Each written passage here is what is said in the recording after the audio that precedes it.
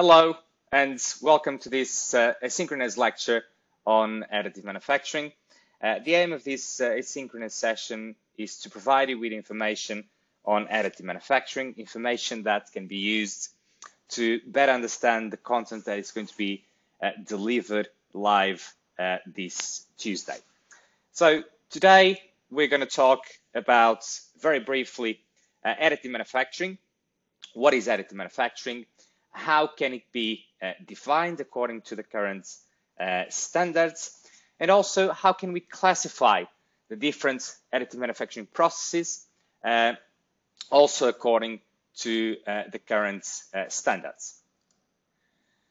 So basically, when you think about the development of uh, modern products, it's very easy to understand that the development of these products requires uh, the combined efforts of uh, multidisciplinary uh, teams, teams with different skills like industrial designers, product designers, uh, manufacturing uh, people, and also marketing people, all working together to translate a product from the bench side to the bedside or in, in more simple terms, to translate uh, an idea, a concept of a product into something that can go uh, straight into the market.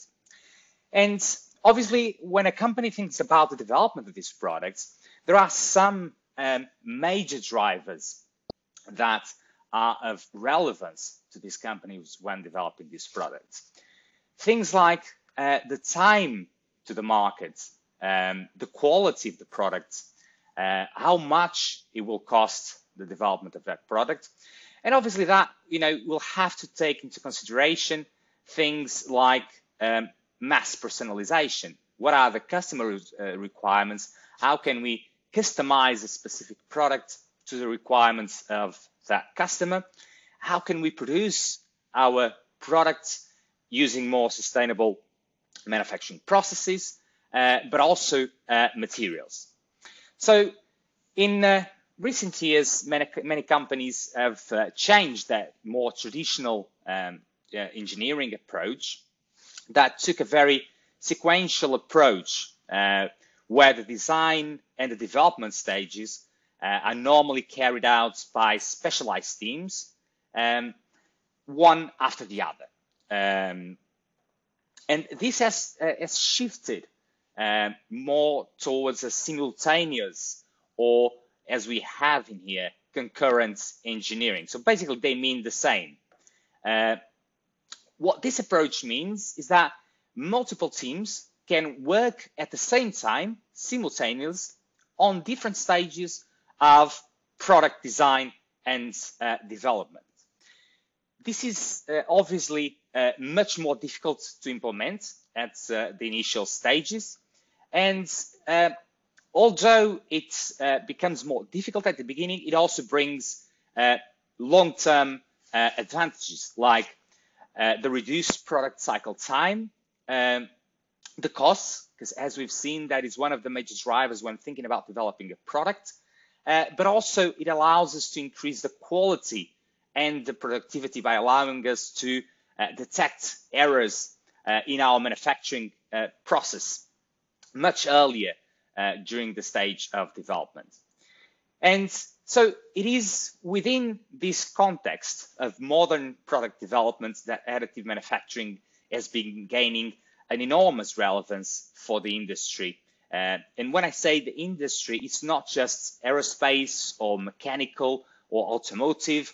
It's uh, across a different range of industries um, also, in terms of medical sciences, healthcare, well-being, it's a wide range of industries, as we'll have the opportunity to see that in the following uh, lectures. And the relevance that has been gained by this additive manufacturing is mainly because these technologies allow for the rapid manufacturing of not just prototypes, but functional products using much more sustainable processes materials. Uh, it allows production at much lower costs compared to uh, conventional manufacturing because of the materials that it uses, because of the fully integrated process. uh, but also because it allows us to reduce the, the, the, the supply chains. And one of probably the most important advantages is the ability to personalize, customize products according to uh, the customer requirements. And this is particularly relevant in our society nowadays. And a very good example of that is the application of additive manufacturing in the healthcare industry, where each patient requires more and more nowadays uh, the development of personalized therapies that are specific for that patient that has obviously um, specific demands uh, depending on that genetic uh, composition. So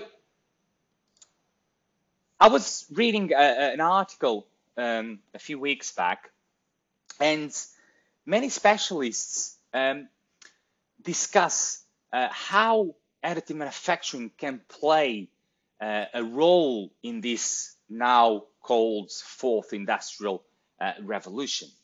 And interesting, uh, McKinsey estimates that uh, the, the, industry of 3D printing has the potential to generate between 230 and 550 billion in economic impact by 2025, which are huge numbers.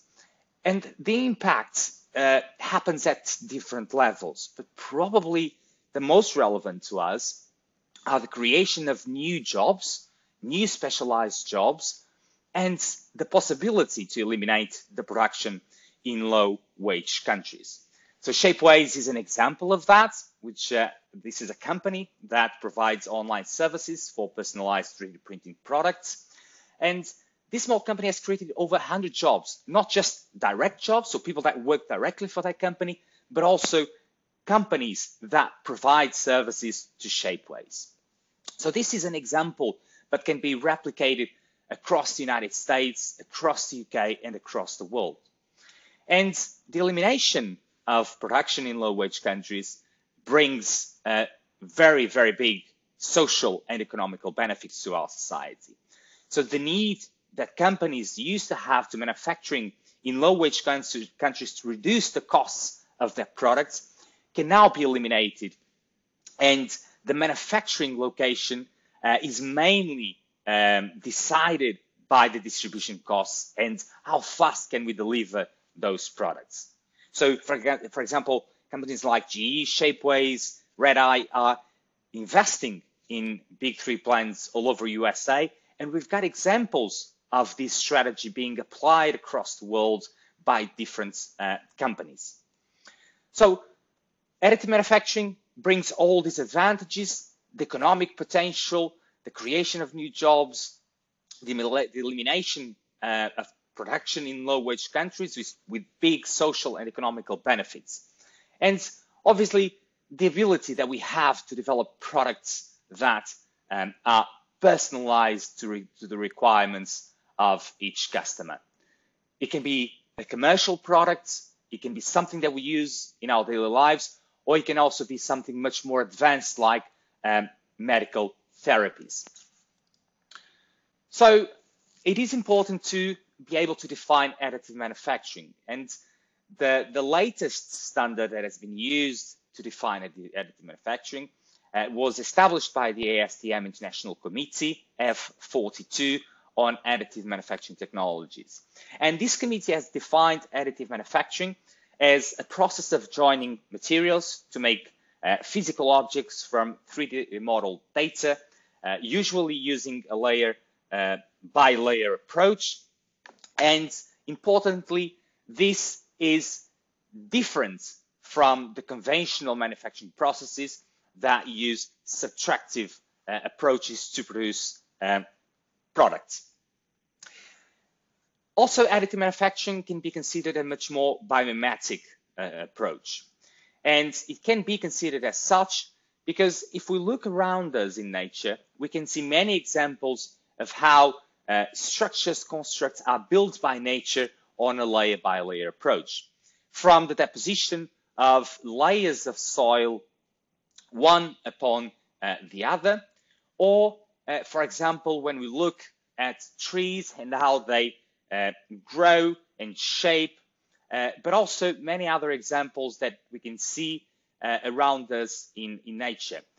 And this allows us to classify additive manufacturing as a biomimetic approach, but also from nature, we can better understand how uh, nature uses these layer upon layer processes to build um, uh, soils or to, to layer soil layers of soil one upon the other or to grow trees but we can also learn how to use that to improve our current additive manufacturing approaches. And this is extremely uh, important. So in terms of the flowchart information to create three-dimensional physical objects using additive manufacturing, uh, this information is common across uh, the, the whole range of additive manufacturing processes. So independently if you're using an extrusion-based system, or if you're using a stereolithography system, or you're using a, a laser sintering, the, the steps that you have to go through from the modeling to the physical um, printing of your object, they are all the same. So normally we start with a three-dimensional CAD model this can be directly designed using, for example, SolidWorks that I believe you are now familiar with, or you can start, and we'll see an example of this in lecture three, using, for example, reverse engineering. So we can use, in the case that we don't have um, uh, the, the digital model or the ability to create a digital model, we can use uh, reverse engineering and 3D scanning to obtain the digital data and then to model our product in, for example, SolidWorks. Once you have this 3D CAD model, the model is then automatically triangularized, creating an STL file. And then using a slicing software, we can then create an SLI file, which is basically uh, slicing the entire object uh, using homogeneous uh, thickness uh, layers. Once you have your SLI file, this is then uh, exported into the software of the 3D printer uh, in the form of a G code containing all the information regarding the deposition patterns to create your physical object. And then obviously after that, choosing the adequate materials and uh, uploading the G code, we can print in a layer by layer fashion our three-dimensional physical uh, object. So here, and very briefly, I'd just like to give you an example of um, an application of additive manufacturing. Uh, this is an example of um, the aerospace industry and nowadays uh, turbine blades are created using uh, selective laser melting. So what you see here is the object, the CAD model, being sliced into uh, layers of homogeneous thickness. That is then imported into the software of, uh, in this case, the laser melting machine. What you see now is the reservoirs of material being filled with uh, powder uh, metals. These metals are then uh, spread over the building platform and then a laser will melt these powder particles uh, together, allowing to build the first layer. Once the first layer is built, the building platform will lower according to the slice thickness or to the thickness of the layer that you have specified, and another layer will be deposited on top of the previous one. And the laser will not just melt that specific layer, but will also allow you to bind that layer to the previous one.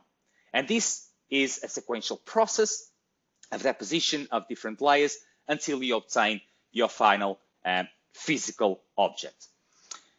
The process does not end here because there is some post-treatment that needs to be done.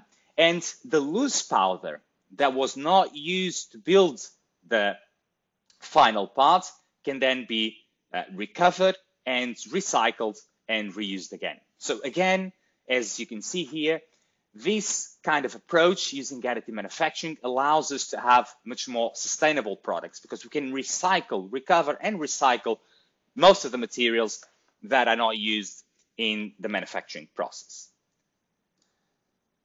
So, as we said at the beginning, it is important that we learn how to classify uh, these processes. And ASM, ASTM F42 allows us to classify those uh, processes. So we have here uh, eight different uh, processes. I must say that we're not going to be able to cover all of these processes in detail. Uh, we're going to focus during our uh, next lectures on four of these processes. So we'll start with material extrusion, uh, binder jetting, vat photopolymerization, and powder bed fusion. And these really are the most uh, important additive manufacturing processes used across the different industries that we have. So in terms of uh, material extrusion, this is uh, an additive manufacturing process that in general uh, requires uh, the use of a thermoplastic material, so a material that we can melt. And once this material is melted, it can then be uh, selectively dispensed through a nozzle uh, into the building platform. Once the first layer is built, then the platform will lower and another material of semi-molten material will be deposited on top of the previous one. And the process will uh, continue until we fill uh, all the, the layers and obtain our final object. So this is extrusion. Importantly, most of the materials used are thermoplastic, so materials that can be melted and uh, uh, solidified to form three-dimensional objects. In terms of binder jetting, I must say that uh, binder jetting and material jetting, they share the same principle of operation. The only difference is the type of material that is dispensed from the printing head. In the case of material jetting, the material that is dispensed is the building material, or in other words, is the material that we're going to use to build our um, uh, three-dimensional physical object. As in the case of binder jetting, the material that is dispensed from the printing head is a glue that will allow us to bind uh, the particles, the powder particles uh, that we will use to form our three-dimensional object. So binder jetting is, uh, again, and as uh, material jetting and additive manufacturing process. But in this case, we use a liquid bonding agent or a glue in more simple terms that is dispensed selectively in the building platform according to the shape, the geometry of our parts to join powder particles uh, together. And again, this is a layer upon layer so once the first layer is built, the platform lowers and another layer of uh, bonding agent is deposited. As we'll see in the future lectures, there are uh, several steps after the part is fabricated. So post manufacturing or post printing steps that we need to follow until we obtain a fully functional part with binder jetting. Very different from material extrusion and jetting principles, is vat photopolymerization. And the main difference here is the type of material that we use and what we need to do to create a three-dimensional object. So in this case, we have a liquid uh, material, which you normally call a photopolymer. Uh, this photopolymer is within a container or a vat and is selectively cured using uh, light. So this photopolymer, once irradiates with a laser that can be uh, a UV laser or can be an infrared laser or a combination of both, it will trigger a chemical reaction that will allow us to transform a liquid material into a solid material. And we'll look into uh, this process a bit more in detail, uh, looking at the requirements in terms of the materials, uh, looking also at all these reactions that happened uh, that allow us to transform this liquid material into uh, a physical object. Powder bed fusion, this normally comprises uh, selective laser sintering and selective laser melting, and there are some differences in terms of uh, these two processes, but in general, this is a process that requires thermal energy using high power lasers and these lasers will be used to scan the surface of um, the powder materials that are deposited on the building platform, and it will be used to either melt or to sinter those particles forming uh, three-dimensional objects. So these are the four uh, main systems that we're going to be covering. There are uh, several differences between them in terms of the operating principle, in terms of the materials, in terms of the applications, but also uh, significant advantages and limitations when uh, compared. And when deciding on these processes, we need to bear in mind what is the final application, what are the requirements of the product, the functional requirements of the product. And once we know that, we can then better select the most adequate additive manufacturing process to create uh, those objects. And this brings us uh, to the end of our uh, lecture. And um, we will talk about these processes and the materials more in detail um, in the next coming lectures. Thank you very much for listening, and I will see you on Tuesday.